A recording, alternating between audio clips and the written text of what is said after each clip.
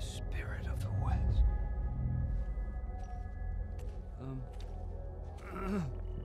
Excuse me, Mr. Spirit, sir? Ah, there's a butte. Sometimes you gotta dig deep to find what you're looking for. So you made it. Is this heaven? If it were, we'd be eating Pop Tarts with Kim Novak. Yeah. no kidding. What are you doing out here? Searching, same as you. I don't even know what I'm looking for anymore. I don't even know who I am. They used to call you the man with no name. Hmm. These days, they got a name for just about everything. Doesn't matter what they call you. It's the deeds make the man.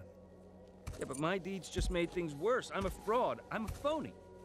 My friends believed in me, but they need some kind of hero. Then be a hero. Oh, no, no, no. I- You don't understand. I'm not even supposed to be here. That's right. You came a long way to find something that isn't out here.